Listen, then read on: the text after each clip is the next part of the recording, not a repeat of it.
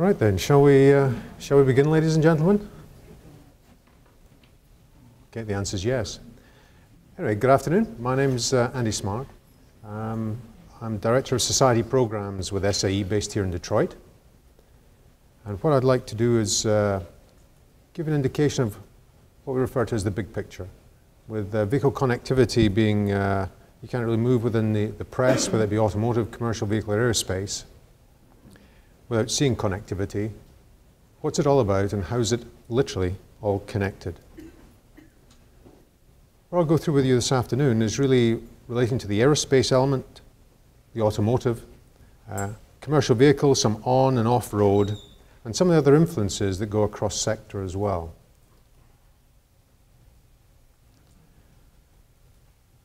What we do within the organization is actually look at uh, all of the different sectors and start putting together very sort of complex uh, market drivers, just so we know what is really uh, the, the, key drivers in each of the sectors and therefore what to do in terms of different events, papers, standards, etc. But this is a, a, relatively simple chart showing that the number of shared drivers we have across all three sectors that we refer to really as mobility. One of the key elements really is connectivity. You can see there's many others that you can see are, uh, that you can relate to very much in terms of fuel consumption, energy security, efficiency, etc. But the key one for this afternoon really is, is connectivity and going across all of the, uh, the, the different sectors. What I'll tell you at the start, during, and at the end is this message. That really, if you look at the common themes across all the mobility sector, there's two key themes efficiency and cyber threat. The good and the bad, but hopefully without the ugly. The key element for these aspects, when you look at efficiency, it really can from a consumer point of view or also from a commercial perspective. But the cyber threat also varies um, across all of the different sectors. So what I'll go through with you this afternoon is really where it is from the connected aircraft when it comes to commercial aviation, the automotive sector, which I think you're probably most uh, acquainted with, relating to both automated, cooperative, the infotainment element, but then also finishing with the, the commercial vehicle sector as well. And then really just the end element, really talking about the cyber threat and uh, really the, the industry's uh, reaction to this.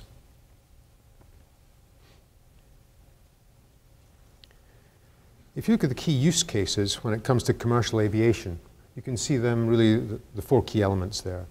One, really the, the health management side. Obviously, you're looking at uh, scheduled and unscheduled maintenance. This is very much up and down time, so it's a very key element within the industry. Um, no fault found, or the reduction of no fault found. This is a, a key element also. A lot of the reporting in terms of the flight path uh, work in, in, terms of um, the systems on board aircraft. And then also uh, proactive intervention in terms of what's happening when the, uh, when the aircraft itself is on the ground. When you can see to the other elements, obviously cabin connectivity, which we all can appreciate more as passengers, uh, as you can see there in terms of what's happening within in-flight entertainment, etc. The longest list you have there really relates to the operations management, and this is where a number of the efficiencies come in, in terms of where the connectivity is. If you're looking at different uh, wind updates in terms of what's happening in flight, how you'd be rerouted, how you can go to a slightly more efficient flight path uh, at a different uh, altitude or what is happening and how you would actually make detours based basically at the wind at different altitudes. When you look at other aspects to obviously element at the bottom there, reporting emergencies. This is something that uh, something we don't want to uh, have to do, but obviously is a key element. But connectivity, and especially in light of uh, many recent um, issues, this becomes an extremely important point, which I'll get to later. Air traffic control is really going through a, a major change at the moment with the, the next generation of air traffic control system, and connectivity plays a key part in this. A lot of elements here, again, go back to the efficiency because then you're looking at uh, takeoff, in-flight, and landing. But a lot of elements that are going on are actually, the third point there is really reduced flight separation. And in doing this, basically, you can get more aircraft in the air at one time. But there are elements relating to this, and there's actually an optimum distance between aircraft, which in fact our, our standards group is working on just to find out what that is, because you can actually have a lot of turbulent, it may be good on paper, but may not be so good for passenger comfort. Moving on. If you look at some of the key drivers and challenges within the uh, commercial aircraft area, obviously you're looking at the areas there in terms of the traveller's desires. Some aspects relating to cockpit modernization, where you have to realize that from uh, the automotive point of view, uh, we are forward fitment. From commercial aircraft, a lot of it is retrofitment as well. So one has to take this into account at all times. Aircraft prognostics, as I went through before, is also a key element here in terms of maintenance, and especially in uh, commercial aviation. If you look at uh, where we may set off in the morning and well, 22 hours later we'll end up in Florida. Um, 22 hours later, you could be in Nagoya, you could be in Seoul, and you have to have everything on the ground there for you. So a lot of the prognostics and basically uh, connectivity of the aircraft in terms of overall maintenance can assist this in terms of where you are on a global basis. If you look at some of the challenges that come here, obviously POS point of sale. So when you're making purchases on board aircraft. What is that? Some things are uh, cost prohibitive, people don't want to pay. I think you may understand, well, it's a, a service on board flight, why should I pay for these things? The cyber attack must be considered. That is also uh, on board. Um, when you look at the number of providers, there's also very limited service in terms of what's there for connectivity at the moment.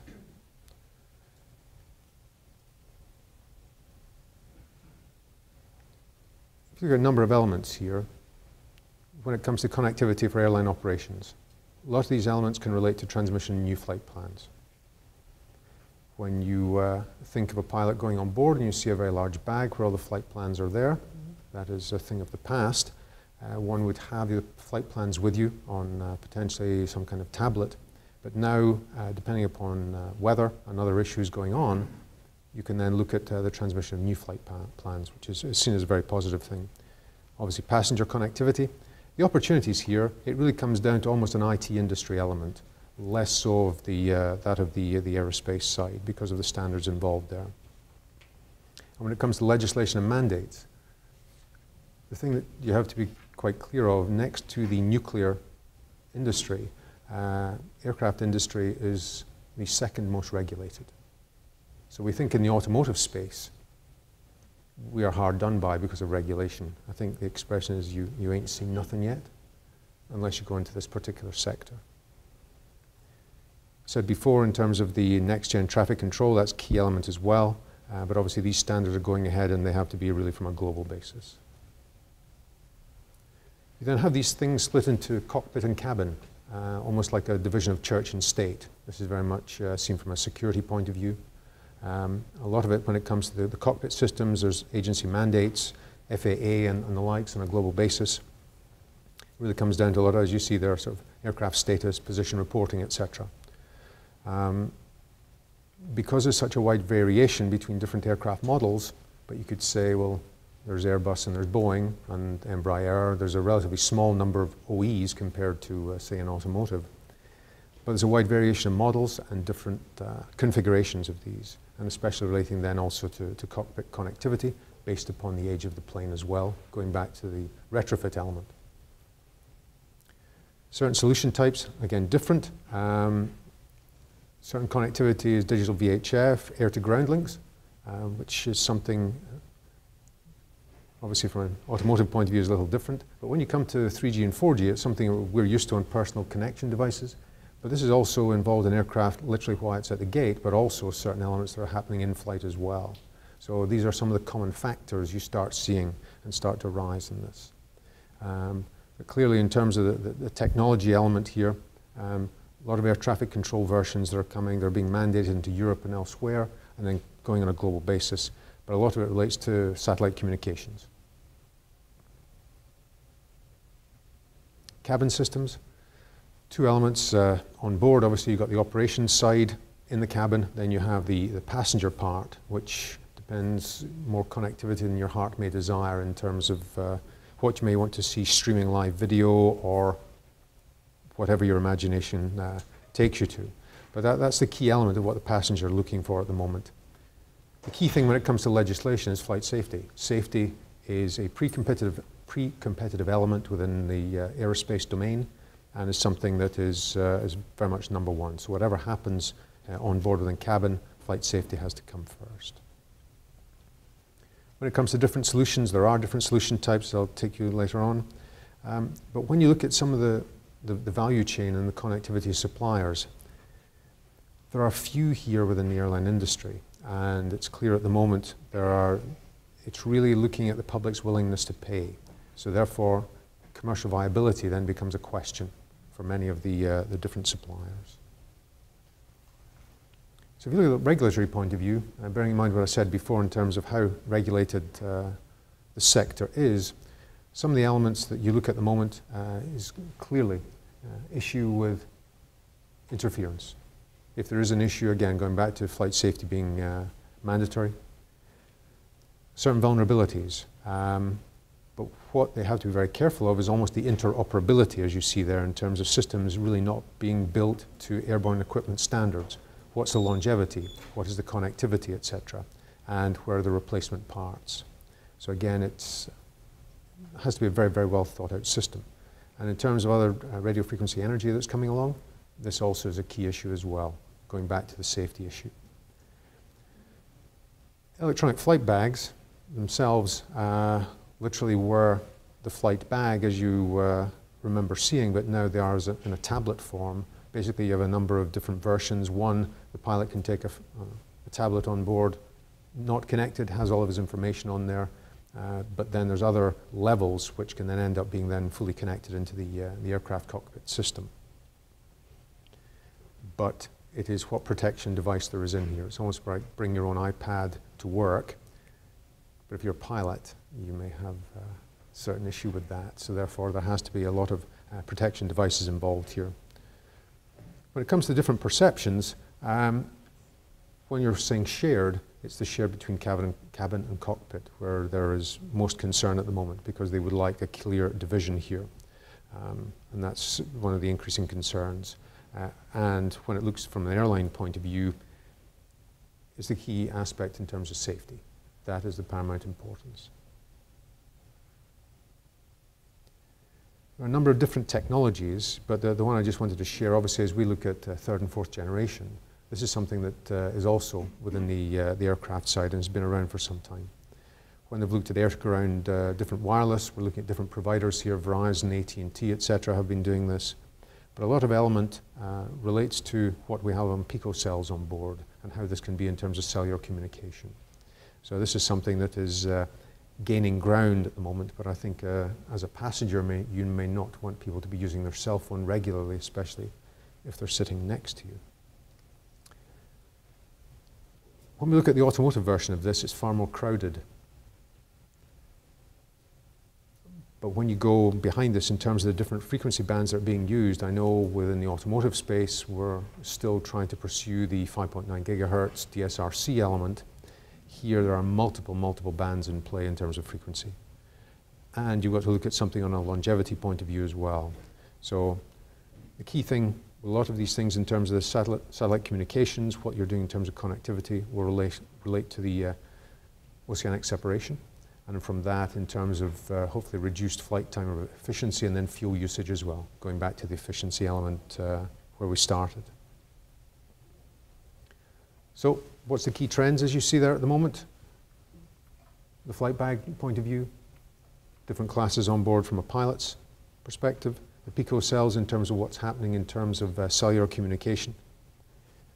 You can't get away from the big data, big data element. Uh, it's there from the airline's point of view, but it's really looking at the passenger experience. What they're trying to do is the same we're trying to do with every other element that's trying to take uh, customer data. Uh, and then what's happening in terms of other uh, wireless devices on board.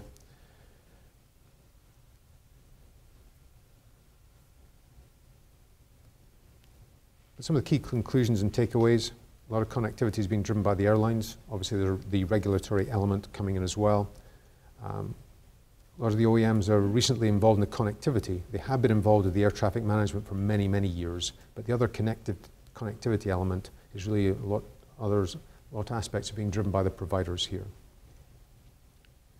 But some of the providers are not yet profitable, and therefore, if that's then the case, a number of very are more very hesitant to get into that space at the moment.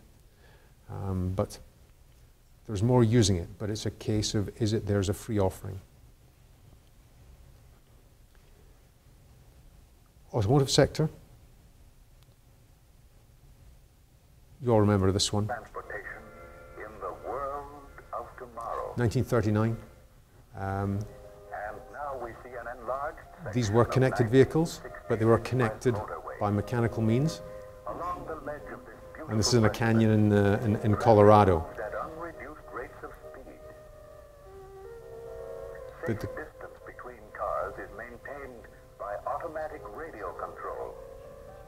Curved sides assist the driver in keeping his car within the proper lane. But how they put it, it was increased speed and safety. That was a key element. You can see it all, um, available on YouTube. Um, but the key element there in the, in the late 30s, it was done by General Motors for the World's Fair. It was very clear then that this is something as a technology. I looked at that and I thought this must have been something that was similar to as we experience in the automotive side. Uh, when is uh, the oil going to run out? It's always been 50 years. When's this going to happen? It's always going to be in 30 years' time. Now it's a little more to reality. And I think in, in that sense, um, when you go through a number of uh, key messages from uh, OEs, whether it be um, on commercial vehicle or an automotive, again, it's down to increased speed and safety and then fuel efficiency. Same drivers as before. Fast forward to the connected world of today, uh, V to V, V to whatever, X to X as it really is now, depends on your uh, buzzword bingo. But clearly, as we see it at the moment, whether it's vehicle to grid, grid to vehicle, vehicle to vehicle, vehicle to device to infrastructure, it, it becomes really the, the vehicle becomes the node of the Internet of Things. It's just another thing. Uh, or the device you have on board that's connected into your car. So it becomes a little more uh, complex to this.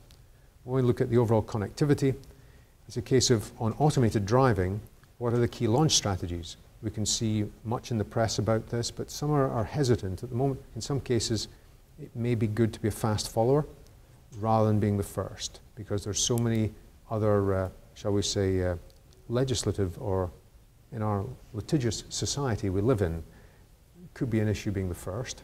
But from a technology point of view, very much uh, people are being quite cautious. The cooperative element as well. Obviously, we have here um, certain decisions coming. DSRC is obviously seen as a key element at the moment. But where a lot of cooperative driving is then dependent upon infrastructure, this may not be the case, but uh, I've always been used to seeing in this type of space is about the 30 30 30 rule. Um, the smart device is about 30 weeks, the vehicle is about 30 months, and infrastructure is about 30 years.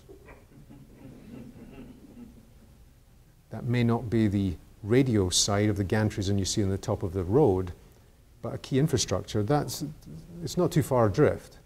And so there is a slight mismatch in terms of the technology development, implementation, and then also uh, the turnover and development time.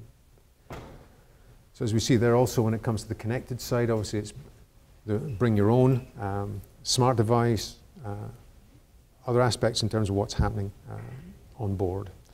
But then a lot of it when it comes to the big data analytics, I think some aspects when we're looking at our overall providers, I'm very much expecting to have a call one evening from the people that call you and ask if you'd like to bundle your plan, but they also include along with your cell, your cable, your all these other things, and would you like to include your car?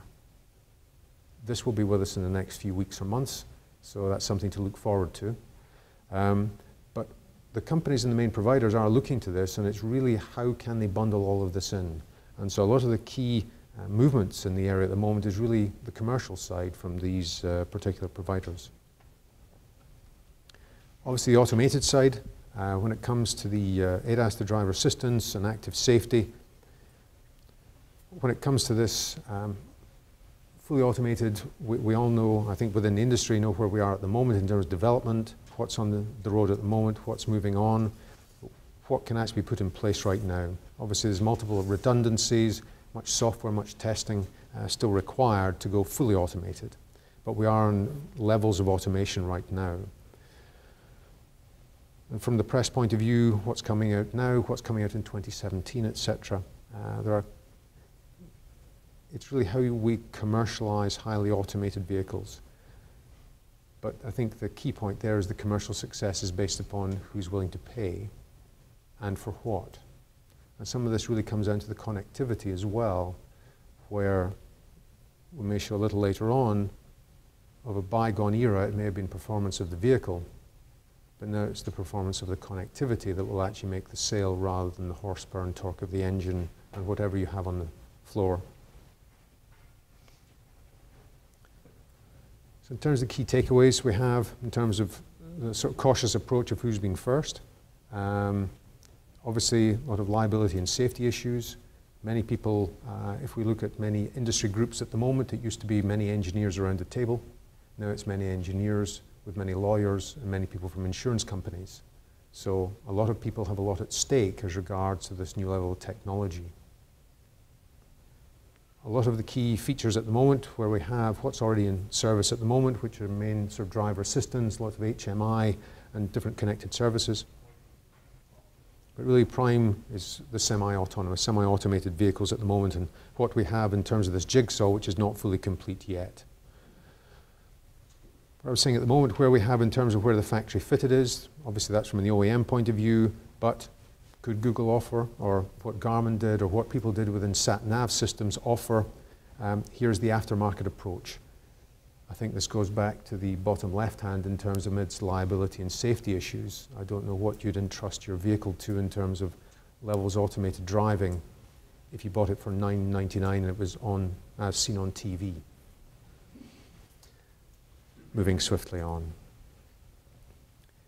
I think then, as the benefits we've seen at the moment in terms of the convenience, safety, mobility, a lot of it very much related to the safety aspects here. Obviously, from NHTSA's point of view, looking at the number of driver deaths per year, 32,000 or so in terms of what can be reduced. And it really is, as we've gone through the last 10, 20 years, when ABS saved so many lives in terms of the uh, airbags, many other uh, um, safety features, and now we're getting to the point where the amount of technology required for saving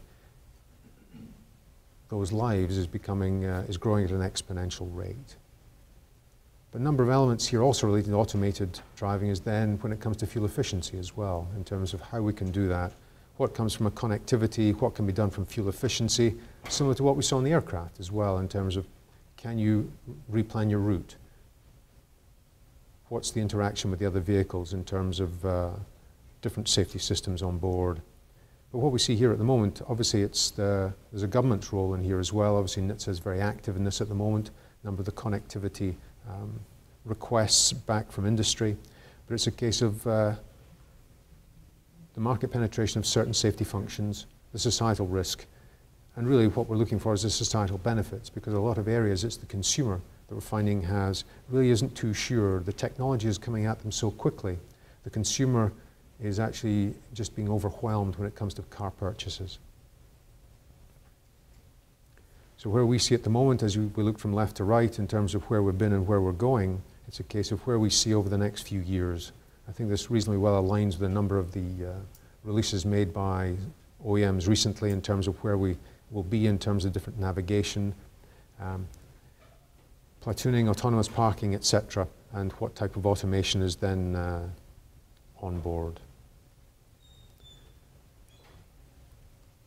This isn't just an SAE plug. It, it, really is a case of what was involved in recent uh, standard in terms of automated driving. There was so much different talk in terms of what the different of automation, autonomous vehicles, even the terminology.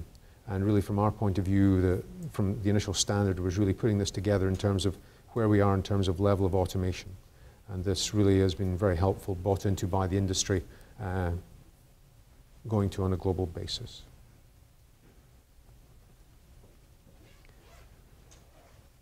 Conclusion and takeaways. From the uh, OEM point of view, consumer education is clear in terms of what is the benefit to the consumer here, not just from a safety point of view, because the consumer thinks that uh, safety is inbuilt. Why should I pay more for safety features? Surely that's uh, mandated. Um, so therefore, why should I pay? What are the other benefits that are on board? What's happening in certain tier one suppliers? It's been a little bit of the wild west in terms of different uh, acquisitions of different companies and technologies at the moment in terms of trying to grow and get critical mass very, very quickly. But obviously, all the major tier one suppliers, technology and development. If we're on uh, Belle Isle a number of weeks ago, we could see that in terms of the number of vehicles, number of suppliers there in terms of technology demonstrators. So really just a number of areas really in, on the middle on the, the right-hand side. It's the new business models that are coming up in terms of uh, different types of uh, relationships of um, where automation can be there in terms of uh, different autonomous valet parking. What other things can come up? So the entrepreneurial spirit is alive and well, especially when it comes to uh, autonomous driving. When we're looking then at uh, just the general connectivity of the vehicles we have at the moment, obviously the different tests in terms of uh, DSRC, where we are at the moment, number of applications. This is something that uh, we feel very much is key, but when it comes to the infrastructure side, I know uh, something with the SA standards at the moment is work, working very hard on in terms of DSRC.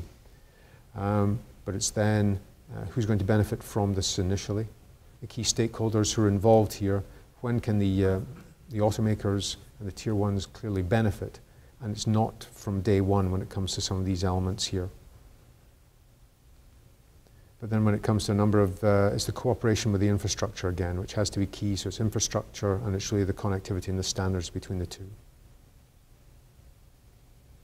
So as we know, in terms of what's happening in terms of from left to right, what different functionalities there are, what's being added in here. So this is almost the, the jigsaw of what's coming together. And when we add the, the vehicle-to-vehicle data in terms of what's happening here in terms of the uh, lane changing, and when I was coming down here today, I was only hoping that the vehicles next to me had this. They didn't. And also I'm finding a lot of 8 to 10-year-old minivans at the moment that have had major performance upgrades, because that's another issue I'm having on the road as well, but that's nothing to do with this presentation. Um, clearly, in terms of the number of vehicle to vehicle, uh, a lot of the safety issues here, safety um, benefits that are coming on board here, but then also when we get to the uh, vehicle to infrastructure, to the vehicle, what can happen in terms of complexity, geometry, information, a lot of it, it comes down to the overall efficiency as we, uh, as we started with. So when you see in terms of this becomes a little busier in terms of a lot of the, uh, the roadmap in terms of what's happening over the next few years, um, but it's, it's, similar when, when we look at what's happening uh, also in Europe as well in terms of DSRC, what's happening in the US, different SATCOM, going back to what we spoke of in aerospace. But a lot of the technologies are becoming shared.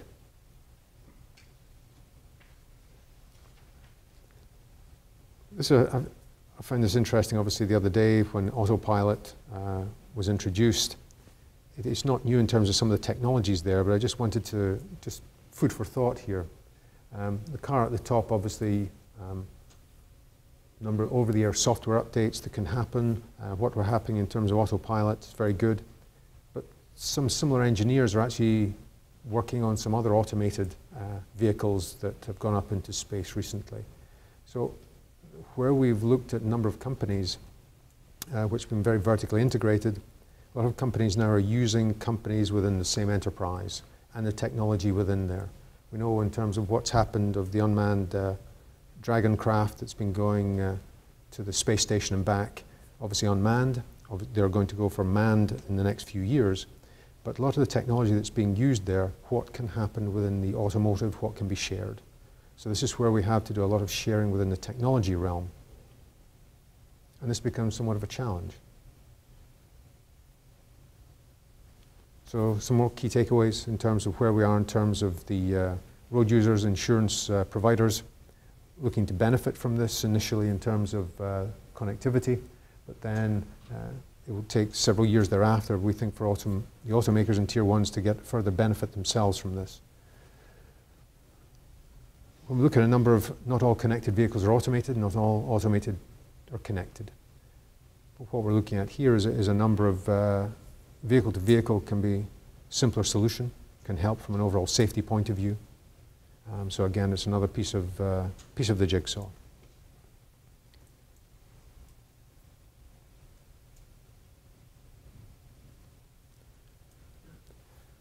The infotainment side, obviously we're looking at uh, very widespread growth currently. It's really a case of where we are at the moment in terms of, we looked at uh, some of the 3G and 4G, what's happening here in some of the infotainment models. Um, commercialization, this is where it becomes a bit different to what we're doing in the normal automotive market. Who are the companies involved? Um, it's not the normal companies that have been involved in this space in the past because they see it from an entrepreneurial spirit point of view um, especially the devices that are being used here, that there is uh, there's a space for them here. But when it comes to a, a number of the, uh, the, the models that are being used, as you can see there, it's not just in the US and Europe as well. It's really an explosion of a number of the startup companies, um, which is, is very good, but then it's a case of how long before the companies then will then cash in, move on, becomes a much bigger model. But uh, when you look at the size of the market in the next few years, that's why many people are uh, very, very interested. So when you look at uh, this particular map at the moment, nothing particularly inspiring or exciting compared to where we were before, but it is then the case of uh, different levels of connectivity from an infotainment point of view. And then when we're looking at some of over-the-air, going back to the, the Tesla model, um, over-the-air updates are seen as something that could save um, the industry a great deal of money. How can this be done? What connectivity of the vehicle can you get there? So that's obviously a key element. Some of the key takeaways then. Um, there are certain driver distractions elements that NHTSA is very much involved in at the moment because uh, this is seen as very much a, a key safety issue at the moment. Um, new revenue elements as regards to in-vehicle advertisements. It's just what we needed more advertisements, but this time in your car. So it's then a case of also how we can look at certain uh, data transparency, what can come in, how can we monetize some of the data to and from the vehicle. So again, a lot of commercial applications very much in, uh, in play. If we look then at the, the commercial vehicle sector, the third of the three, um, what does this really come down to? We're looking at certain fleet management solutions. Um, how this can then be used for certain truck platooning, similar again to the, the connectivity for the, uh, the automotive side, but also prognostics. Uh, this is some, seen, obviously, there's many links now between the commercial vehicle space and aerospace because they're then looking for an overall optimization of maintenance, uh, reduced downtime. Um, so this is seen very much as uh, very key in this particular space.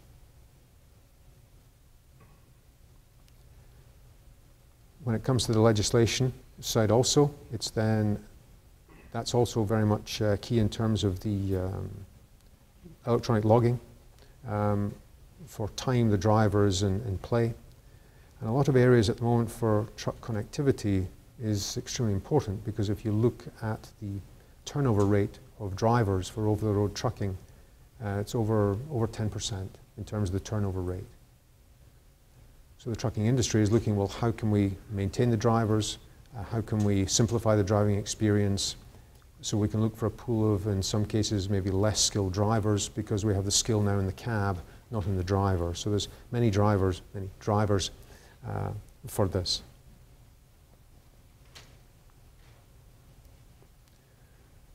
So in connected trucks, um, the electronic logging device very much is uh, pushed at the moment. Um, very much vehicle management, driver behavior.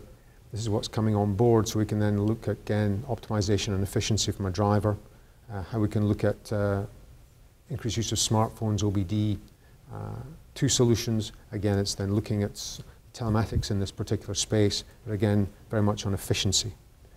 Um, and there's many platooning solutions started by Volvo many, many years ago, uh, but also much work going on now here in, uh, in the US. So look at the key trends here. Obviously, the smartphone adoption into fleets. Uh, what's happening from the overall telematics side, that's growing very much so in terms of the OE space. The big data side is becoming far greater here because they're looking at the, the driver information, what can be done from an optimization point of view, all down to optimization, uh, uptime, reduction of downtime. some of these solutions then, when, from a technology point of view, it's consolidation of what's happening within this particular space. Because they're looking at how can we um, then retrofit some trucks, what can we look at here. So it's very much seen as some, uh, again, a lot of commercial work going on in this space right now. And a lot of it is then looking on the driver services. Driver and fleet services are key. If you look at the off-highway side, we, we mentioned uh, DSRC for um, automotive application. They're also looking at that for mining applications as well. Because if you've ever been to mines and seen a mining truck, um, and looking at that next to a pickup truck, there is uh, order of magnitudes in terms of size. And so they have to have something that these trucks can communicate to one another actually on the site itself. So DSRC is actually being used as a technology on mining sites then for these vehicles to at least know who's where from an overall safety point of view. So again, it's linking certain technologies in one sector with another. And that's one I, I particularly like. If we look at certain industrial applications, we're looking at tracking certain equipment. Um, there was a picture on one of the, the, front slides there, which is on a Siberian pipeline. You have to get all of the uh, connectivity data uh, from an overall maintenance point of view and to see what's happening before it really happens, especially in uh, very adverse climate conditions. And that's really the tracking of the expensive heavy equipment. Mining, as I said before, obviously it's a safety point of view, collision avoidance here at the moment. So telematics are quite key in this area. And then from an agriculture, um, machine health, productivity, it then comes down to the price of food on the table. All about efficiency. So if you look at uh, three of the elements in terms of the off-highway telematics technologies, some of these are, are, similar to what we're looking at in automotive, some are quite different in terms of the construction side, ag and mining. Um, but it's just a case of it's alive and well uh, in the off-highway side. This is not your grandfather's tractor. So if we look at in terms of what's happening in fleet management, uh, clearly Europe was starting in terms of the truck platooning where North America is very much on its way to looking at tested assisted truck platooning, which, if we look at the overall uh, road network in the US, is far more conducive to this than it is in parts of Europe. Certain solutions, OBD, as I went to before, but it's then bringing people into the value chain in terms of this overall fleet management side, and this is where a lot of new people are coming on board here.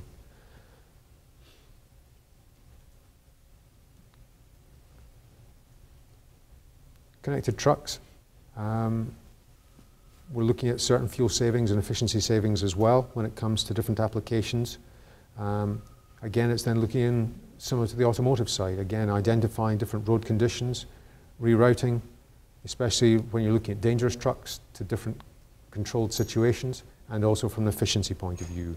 Again, it's weather, even down to wind. If you look at the overall aerodynamic of trucks, aerodynamics of trucks, and then where can you go and different routes planned accordingly. It's not just about uh, UPS always turning right. It uh, could be actually based upon weather of where you put truck fleets in the future. So when we look at the different types of the cooperative driving, obviously uh, it's looking at overall traffic efficiency, again, similar to the automotive. Um, but then when you look at different uh, defining different zones, where can you go on the most efficient basis, especially with low emission zones, especially in Europe cropping up here, where can you go, where there are different fueling types, if we're looking at CNG, if we're looking at other different uh, fuels, what can happen as regards uh, connectivity and communication to the truck, knowing where you are in fuel levels, fuel efficiency, and where the nearest uh, station is for refueling. Different functionalities, different technologies, Again, when you're looking at uh, platooning, you're looking at very high fuel savings uh, by reducing the overall aer aerodynamic drag. So not only you've seen the uh, figures in terms of fuel savings just from aerodynamics on a single truck, when you have a series of six or seven, uh, the savings are much higher. So there's very much a uh, motivation uh, to do this. So really we want to get, there's regulatory intervention that I said we wanted. I said there will be regulatory intervention um, really post 2015 as we see at the moment. Um, again, similar to what's happening, NHTSA is very busy right now with a lot of the new technologies coming up in terms of connectivity, as you can see. Um, but it has to be very much in conjunction with a certain ITS plan with infrastructure as well. Um, so that's very key for us at the moment. Michigan is very much uh, involved in a lot of the communication elements, as, as we know. This is one of the elements that I spoke earlier, although this may not be as uh, extreme as the uh, SpaceX and Tesla uh, element. This is just taken from uh, SA publication recently with, with Daimler. Um, you look at their new 2025 truck, um, autonomous driving, obviously that's for later on, they've got many active systems, but when you go through the laundry list of active systems, you may have got these on your S-Class only. You're getting this on a much larger truck these days. So again, it's looking at the technologies on board and actually sharing them across different parts of your organization when it comes to the truck side to the car side. So you then have um, very much some economies of scale from a technological perspective. So to finish off an area that really is, uh, I've said efficiency is a key theme through it all, but obviously cyber threat is there. As soon as you have connectivity, unless it's with uh, two tins and a piece of string, then this becomes more of a threat for you. Uh, as I said before, it really is the, uh, whether it become the aircraft, the truck, or the car, you become one of the things on the Internet of Things. And because of this, it then becomes one of these areas that becomes uh, of great interest.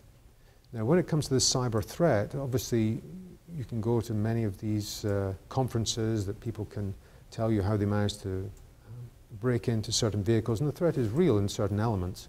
And, and we know that by doing this, there's certain, I think the, the impact of um, certain levels of cyber threat. That's what we have to really look at at the moment. And it's really the impact if we look at the, the three sectors. Um, if you just look at the commercial vehicle sector, one gentleman who will remain nameless just said, we know, we know the hackers are there. We just want to make sure they can't get very far. So it's a case of how do you do that? And how do you have certain redundant systems that are not connected? Um, and we know that in terms of Caterpillar, this is a number of years old here, already in play. So although we may think the automotive industry is at the cutting edge with all these things, a number of these players have been wrestling with this for many, many years. If we look at the overall standards side for uh, the cyber threat, obviously looking across the globe in terms of EU application, where we are at the moment in terms of the US, um, in terms of uh, guidebook has just been uh, issued, under development should I say, anticipated for later this year, key recommended practices. So we have uh, part of uh, within the technical standards domain.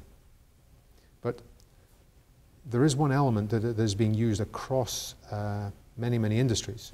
So an ISAC, which uh, NHTSA had uh, published recently in terms of their um, keenness to have something developed here for the auto ISAC. Um, information sharing and analysis. When it comes to cyber threats, a number of the OEMs are dealing with this in their own ways, and because it is a threat, it is not a lot of public information. So a lot of people don't want to talk about this openly, and you can understand that. But what is uh, being dealt with really across the globe is then how can the industry develop the knowledge uh, to either fight back or actually have the knowledge of impending uh, threats. What's actually been found is a number of threats um, people like to publicize. The fact is that they are going to do something. That's where these hackers uh, seem to get some kicks. And they do a lot of data mining in this area to actually find out in advance. So with a lot of information sharing, you can actually get a lot of information in advance of what may well be happening. But what is, is happening in this field at the moment, you can feel secure. Uh, within the mobility sector, there are a number of information sharing um, analysis centers already in play. One uh, recently within aviation. Companies come together, share information here at the moment. Uh, what is impending threat? What can be done about it? What can be put into play? Number of the sectors, 18 or so sectors there were before, the financial sector is one of them. I would all say that, that is somewhat important. Um, a lot of work is being done and they're sharing a lot of information with some of the other ISACs that are coming on board as well very soon. Automotive, uh, SAE is very supportive of this at the moment with uh, the Auto Alliance and global automakers. But also in the commercial vehicle space, this is so vast within maritime, public transportation, over-the-road and motor coach. If you can only imagine um, what would happen, not just on a car, and people seem to think this is, is key, if you to go over, road, over the road truck or bus or airplane, the threat becomes much larger. So this is something that uh, industry is working very hard on in terms of how to keep them out, but also how to share. And it really is at the bottom of the cross-sector collaboration. That's also where SAE is involved in terms of the over collaborative approach. But is really having the companies discussing, sharing the information and what to be done about it. So this almost is a very much a pre-competitive element. So, as I said to you, I'd start and finish with the same. So as we see as the key common themes in terms of connectivity across all the sectors, key one being efficiency and cyber threat. Thank you very much.